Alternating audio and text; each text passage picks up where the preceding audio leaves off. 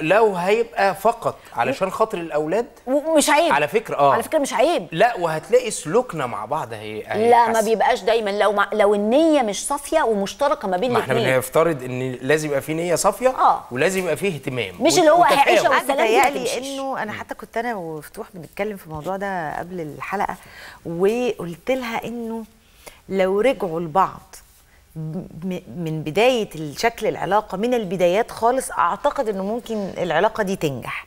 يعني لازم يرجعوا لبعض مش متجوزين. مخطوبين. مم. يعني يعني حتى حتى يعملوا حاجة فيها أجواء وبهارات لحياتهم. فكرة إنه إيه أنا هرجع تاني أتخطب لبابا. آه، ونرجع تاني نتجمل قدام بعض في فترة الخطوبة بس ما ناخدش نفس. الخطوات بقى ليه ما ناخد أنا هكمل. لك هكمل لا ما بقاش عارف إن الحاجات دي. بتضايقك برافو كملي ونبقى حريصين على إن شكلنا يبقى حلو قدام بعض آه. ولابسين ومتشيكين عارفة نفس اجواء نفس أجواء. الخطوبة يا آه. جماعة ونرجع. وننزل آه، نشرب حاجة في مكان ونرجع ونسيب العيال مع ماما أو مع عمته أو مع خالته وأنا قاعدة لسه في بيتي يعني ما ننطش المرحلة دي يعني بالعكس المرحلة دي أحلى إنه أنا أعيشها بجد أنا عارفة ان معاه يكون تاني البعض شايف ده. إنه رفاهية وكلام فاضي وبتاع بس لا، إحنا بنتكلم يا. جماعة على اتنين عايزين يرجعوا لبعض واقعين تحت ضغط الولاد, الولاد. وتحت ضغط كمان الضمير اللي ساعات بيألمنا جدا لأنه العيال متضايقين العيال. مكتئبين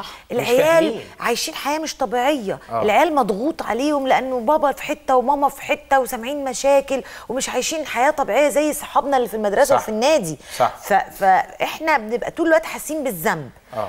ده مش وحش وفكرة الرجوع مش وحشة بس أهم مطلوبة. حاجة الرجوع يكون آه. بطريقة إنه زي ما أنا عايزة أولادي يبقوا سعداء أنا كمان عايزة أبقى سعيده آه. فابتدي بداية كأنك بتبتدي من الأول. صح. خالص.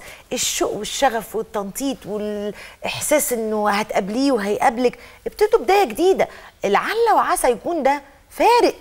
إن- هيخليني فعلا أبتدي على مية بيضاء مع الراجل ده وأبقى المرة دي بقى الاختيار طبعا.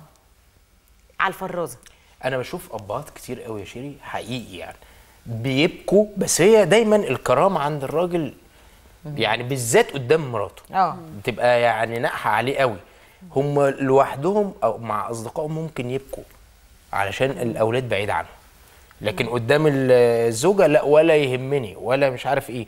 فلازم يا جماعة طالما إحنا ارتضينا إن إحنا نرتبط ونعمل حياة جديدة الحياة دي آه، ب- نشأت عنها أطفال لازم نبقى مسؤولين عنهم. لازم. وخلي بالك ربنا سبحانه وتعالى بيوضع في في قلوبنا سعادة من نوع تاني. لما بشوف الأولاد مبسوطين أنا ببقى سعداء. مبسوط. أيوه أنا معاك يا سامح 100% وأنا معاك كمان في فكرة إنه يا جماعة مش لازم يكون الحب مولع في الذرة آه. ومش لازم نكون مقطعين شرايين نفسنا عشان خاطر اللي قدامنا ما هو طبيعي بعد العشرة والسنين والمسؤوليات في حاجات بتقل وفي حاجات تانية بتتولد صح. وبتكبر. أنا معاك.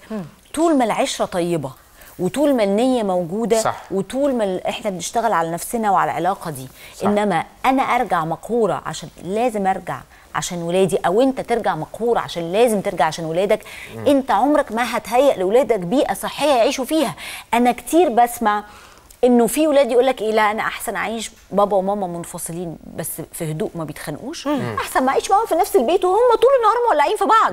ما هو الطفل برضو مش الفكرة إن إحنا نبقى عايشين. في أربع حيطان. هي دي سوء تربية خلي بالك. لما يبقى في في كراهية, كراهية وفي شحن وفي طاقة سلبية. هيتربوا غلط.